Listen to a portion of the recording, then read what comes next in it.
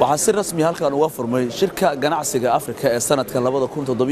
ka kaasuu ka qaybgelayay wafdi ka socda dowladda federaalk ee soomaaliya uu hogaaminayey madaxweynaha jamhuuriyadda federaalk ah mudane maxamed cabdulaahi farmaajo.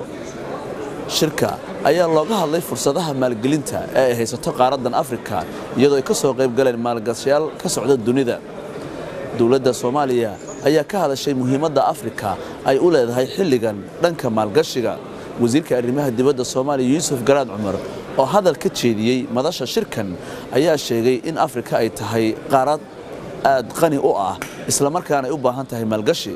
Waxaa wasiirku uu ka hadlay soomaaliya iyo halka ay ku taallo iyo sida ay adduunyada muhiim ugu tahay marka laga hadlayo maalgashiga isagoo ka hadlay sharciyada dhanka maalgashiga oo dowladda soomaaliya ay wax badan ka qabatay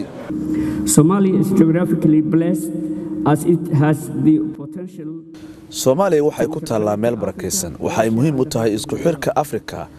eshiya iyo dunida inteeda kale. Waxay leedahay khayraad dahan sida dalal badan oo afrika ah. Soomaaliya waxay garowsan tahay dadaalka muhiimka ah ee midooda afrika uu wado. Si loo helo qaarad isku xidhan oo isku suntan ganacsi hor ah isdhexgal bulsho iyo isdhexgal dhaqaale iyadoo la qiimeynayo badeecadda iyo adeegyada diyaarka ka ah afrika lana gaarsiin kara adduunka oo idil.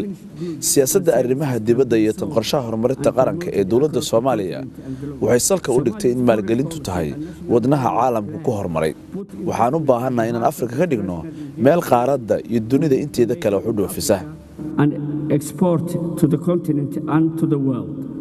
dhinaca kale wasiirka qorshaynta iskaashiga caalamiga dowladda soomaaliya ayaa ka hadlay kulamo ay la yeesheen dhammaan maalgeliyaashii ganacsatadii ka socotay dunida ee shirkan ka soo qayb galay isagoo sheegay inay rajo wanaagsan ka qabaan in sannadaha soo socda soomaaliya ay hesho maalgashi gaar ahaanna dadka halkan yimid iyo shirkadaha yimidba ay soomaaliya maalgashi ka samaystaan. Runtii waxay ku tusaa soomaaliya muhiimadda la siiyey shirarkii badnaan ka qayb gallay maanta. Waxyaalo fara badan oo waxa jira meeting fara badan ka qayb gallay insha allah waxaan rajeynaa haddii alla idmo in dad fara badan halka joogay oo ganacsatada aan la kulannay in ay waddanka yimaadaan oo maalgashadaan oo sharaxnay fursadaha soomaaliya ka jira ganacsiga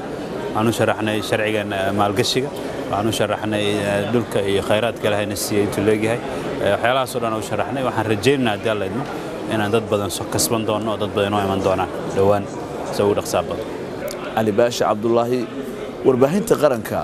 magaalada sharm sheekh ee dalka masar